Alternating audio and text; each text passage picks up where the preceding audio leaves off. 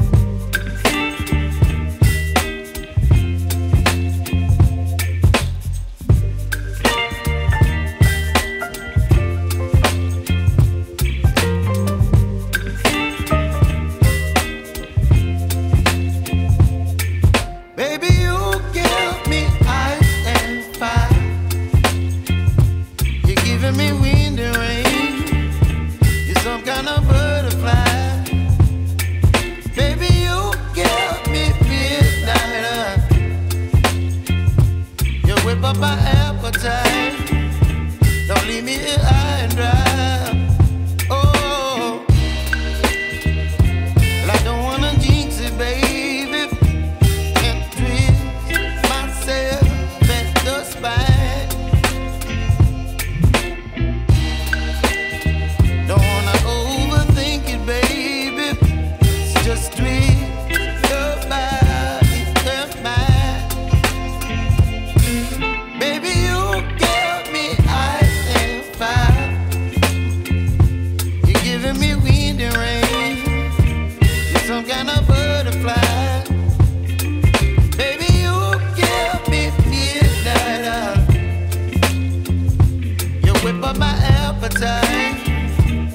marry me.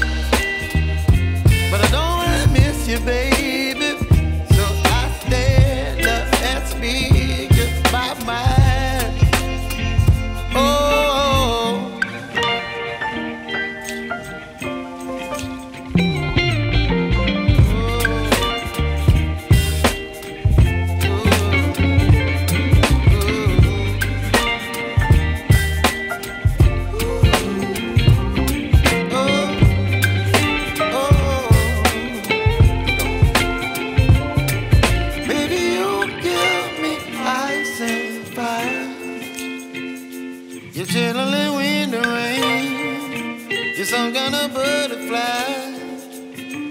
Baby, you give me midnight. You whip up my appetite.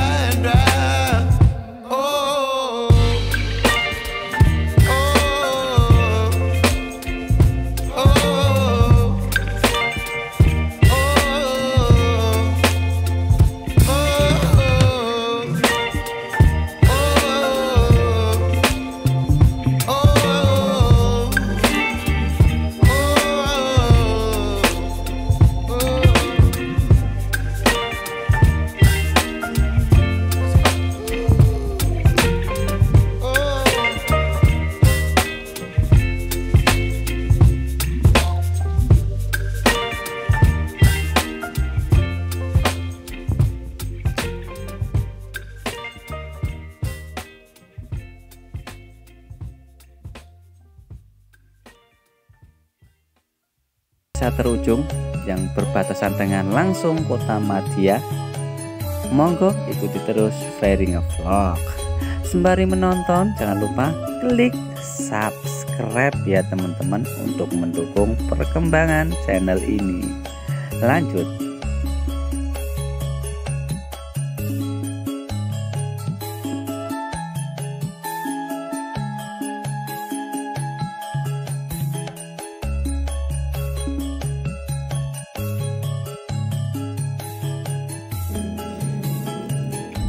Jadi untuk rumah warga, masyarakat warga Desa Sawan ini mayoritas sudah berkonsep modern ya teman-teman untuk rumahnya berkonsep modern.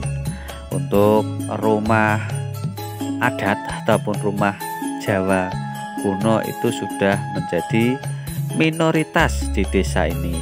Untuk mayoritas konsep rumah sudah modern. Maklum karena berbatasan langsung dengan kota Madia. Jadi mungkin salah satu contoh yang berdampak adalah rumah yang berkonsep modern ini ya teman-teman.